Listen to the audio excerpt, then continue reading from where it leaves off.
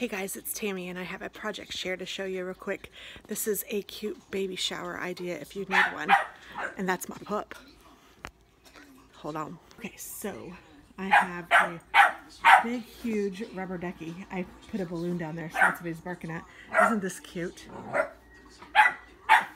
And inside I have a little bath towel that looks like a unicorn because the um, family that the baby is born into um, has like unicorn stuff in her room.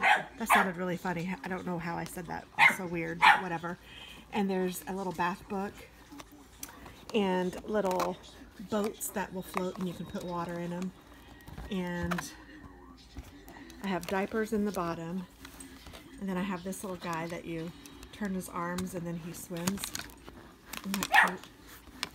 And then I have a rubber ducky over there that will tell you if the water's too hot. And then I just stuffed it full of different diapers and I'm going to tape these balloons down so it will look like a big bubble, like a big bubble bath. Isn't that adorable? I found this idea on Pinterest and I just love it. So I just wanted to share it with you. And I put a bubble over here, for, or a balloon over there for the dogs and they are playing with it. Isn't that cute?